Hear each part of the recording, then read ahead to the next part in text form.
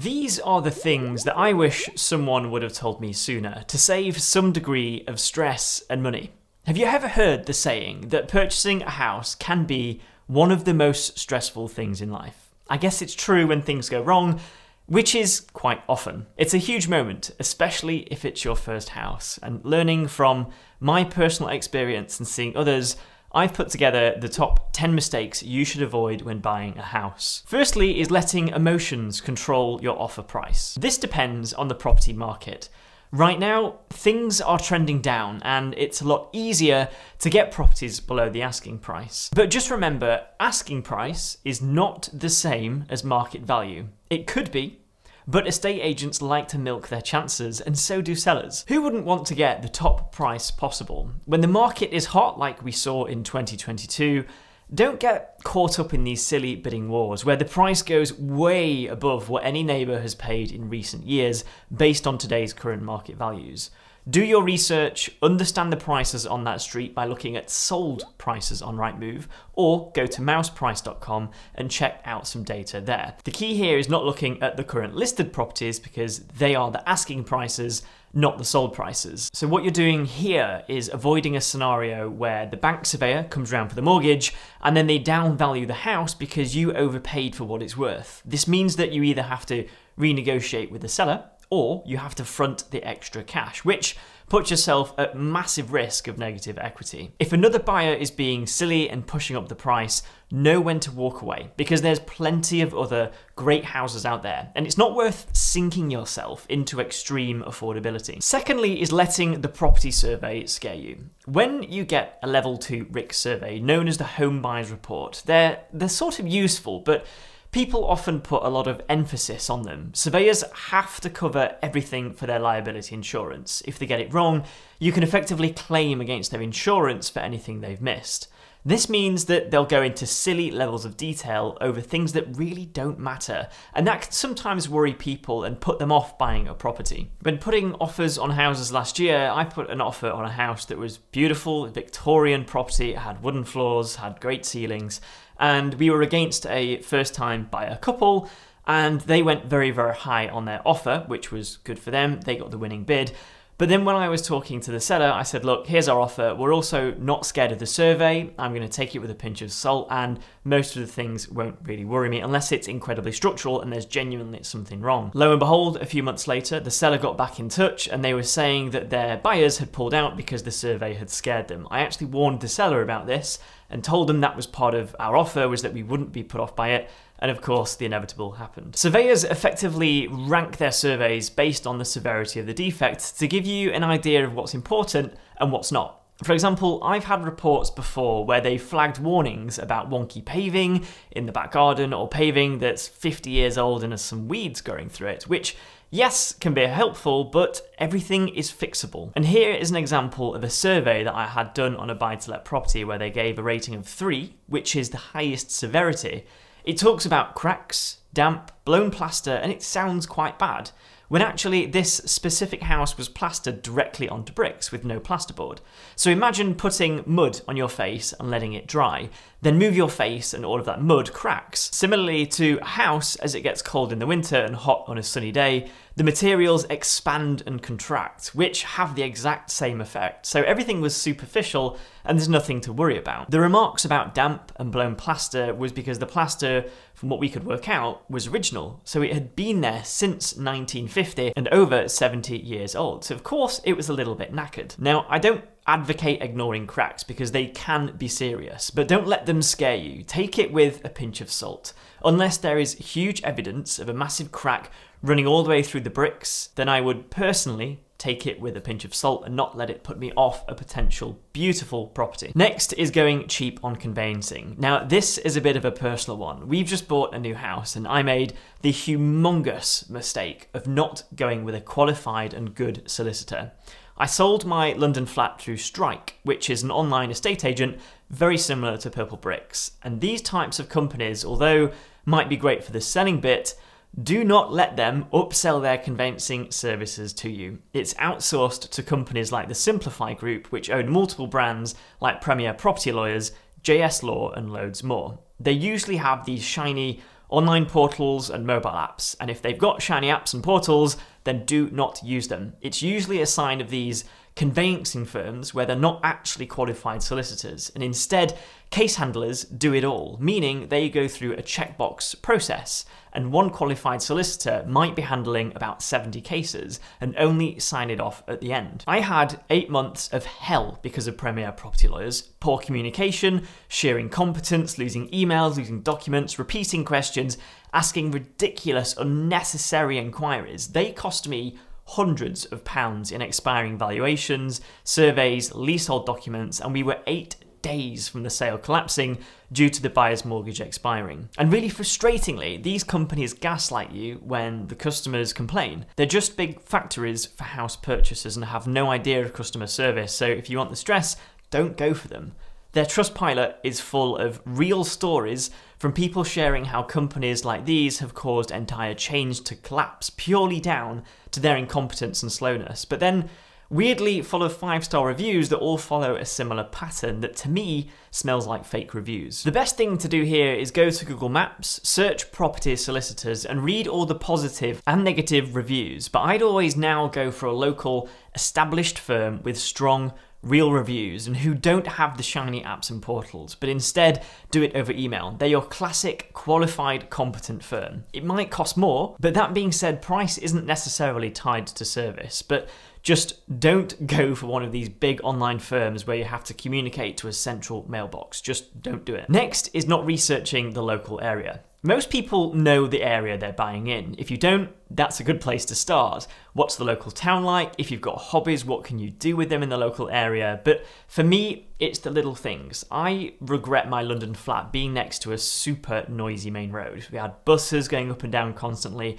police cars, knobs with loud exhausts, and it also meant that in the summer, when it got super hot with it being a new build, opening the door wasn't the most peaceful of things. Even when house hunting recently to move out of London, there was one house. It was a Victorian, Gothic house, but there was a bus stop outside, and when I checked the timetable of the buses, they ran up to midnight every single day. And with it being an old property, it had wooden single glazed windows that can't be replaced because it's protected in a conservation area. with the main bedroom on the front, I just knew it would annoy me with idling bus engines. Another one is things like nurseries and school playgrounds. Don't underestimate the noise generated from a school playground. And if you're buying a new build, I found this in new build estates more than anything else. A lot of them at the moment tend to be near motorways and A roads on old farmland. Again, here, don't underestimate the noise of a motorway because you will never escape it if it's something that annoys you. And lastly is thinking about where you are. I love picking on new build estates because they're all the same. A lot are in the middle of nowhere, no shops nearby, no local pub, no coffee shop. What is it that matters to you in the local area? Having moved from London, I wanted parks to walk in, trees, and also awesome independent coffee shops, bars, restaurants, and all nearby and walkable, which was really important in that search. And people forget to think about this and just get caught up in the house itself. Next is not thinking about your true affordability. First thing first is speak to a mortgage broker. Let them assess your finances and work out what your maximum affordability is. Then knock a bit off so that you're not maxing yourself out, especially in this market at the moment. By understanding what you can afford, you can narrow your searches on Rightmove and Zoopla and remove some of that noise that might be distracting you a little bit. But even when you have a mortgage in principle or agreement in principle, remember to think about council tax, bills, maintenance, food, cars, and all your other living expenses. Whenever I'm buying a house, I jump onto Google Sheets or Excel and calculate what my budget would be monthly and how does my mortgage payments impact my savings ability every month? Are there any financial risks? Am I stretching myself too far? my personal priority is still saving as much as possible. So it was crucial not to go too crazy with a mortgage because the repayments would be a killer and just eat into my ability to invest into a stocks and shares ISA. And also think about today's affordability versus tomorrow. The cost of everything is going up. There's a lot of people this year coming off cheap 1.5% fixed rate mortgages and jumping onto rates of 7%, massively wiping out their affordability. So consider mortgage rates in a few years as well. If it was a little higher than today, could you still afford it? Next is not checking out local planning permission. Now, this is very important and it's hugely underrated. If you're putting an offer on a house, check the local planning to see if anything is happening that could ruin your perfect house. If you've got a nice field view on the back, are Taylor Wimpey about to build loads of new houses overlooking into your back windows? Has a nuclear power plant been approved down the road? It's a good sense check to make sure nothing is out of the ordinary that might have triggered the sellers to sell at that point. I always treat every seller very suspiciously to understand what are their motivations to sell a house and why are they selling and are there any hidden reasons. Now, yes, a solicitor will look at the basic view of this during their searches, but you should go onto the planning portal for the local council and check all the neighbours in extreme detail. But it also means that you can see what your neighbours on the street have done, what they've had approved, and when it comes to extensions, if there is a NIMBY neighbour objecting to everything, you can be very well aware of them. But it's a good way to get inspiration if you do think about extending your home and adding value in the future. Next is if buying a leasehold property, go through it with a fine comb. I have a friend, Charles, who was recently buying a flat in London. He was a first time buyer and was going through the whole process. And very close to the point of exchanging, he went onto the Facebook group of the development and he found residents talking about a doubling ground rent clause in the paperwork. Lo and behold, he looked through the draft lease of the flat he was buying and found the same doubling ground rent clause that his solicitor had missed. Now, this is part of a wider leasehold scandal, and the government have actually banned doubling clauses on any new leasehold properties, but they still exist on older leasehold flats typically. It means the ground rent gets more and more expensive, and it means in future the ground rent becomes so high that the property becomes unmortgageable for the lender because it's so unaffordable relative to its price. Also, you need to check things like admin fees, service charges, and make sure there is nothing out of the ordinary. When I was selling my leasehold flat, I had to pay £450 for a legal pack to be created by the managing agent for the freeholder. It was a standard template pack with my service charge history, and definitely not worth £450 worth of time. There's also other things like the length of the lease. Anything under 80 years may be considered short and cause mortgage issues in the future. Look at things like permissions and what can you change. If you're looking for a doer-upper project, can you change the internal walls and non-structural elements, or do you need permission for everything from the freeholder? Is there cladding? And if there is, and it's a high-rise building, does it have an EWS1 certificate that doesn't need any remedial works? Number eight is forgetting to budget for your furniture. So, you've found an amazing property, you've made the offer, and you're about to get the keys. But don't underestimate the furniture. To furnish a three bedroom house can cost a few thousand pounds that you might not have thought of. A sofa, £700, TV, £400, white goods, a bed, a mattress, it all adds up very quickly. And when I was furnishing my first flat, I actually got a 0% credit card from Barclaycard for two years, meaning I paid no interest. So it was basically like a free loan. And then I just paid it back off monthly to split the costs. I did have the money, but I wanted to keep it in my stocks and shares ISA because it would earn more in there than it would with a 0% credit card. Places like IKEA are great to shop around, but to be fair, even IKEA is getting expensive nowadays. They're not as cheap as they used to be, so you still go in and walk out with a receipt as long as your arm and hundreds of pounds lighter just from buying plants and candles. Number nine is not thinking forwards. Let's say you've just got married and you're looking for your first home and you get a two bedroom place. That's great.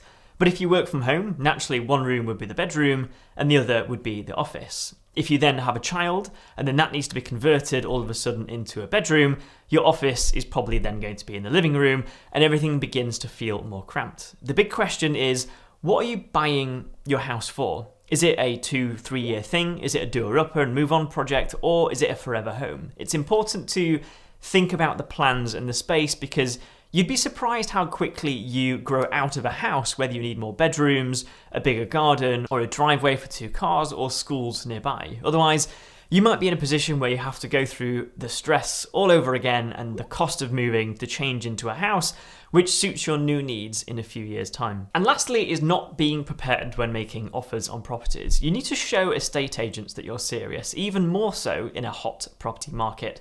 When I make an offer, I always attach our IDs, proof of funds, mortgage in principle, and then attach the details of both my mortgage broker and solicitor who are ready to go. It shows that you know what you're doing and that you're ready to go. And if there are other bidders on a property, it'll show the agent that you're more prepared and you're substantiated in your offer and that you can definitely proceed with it and you have all of your stuff together. Because at the end of the day, They want an easy, stress free sale to get their money, so you're giving them that confidence. And there you have it. There are lots of things that make a house a home, and really, just do as much due diligence as you can into the house that you're buying from planning and its location and nearby amenities. You have to question what is it that's most important to you to happily live somewhere because there's nothing more miserable than living somewhere that you're not happy in. If you enjoyed this video, then you can check out this one here, which is why it's so hard for first time buyers right now to purchase their first home. So click on this video here and I will see you in the next video.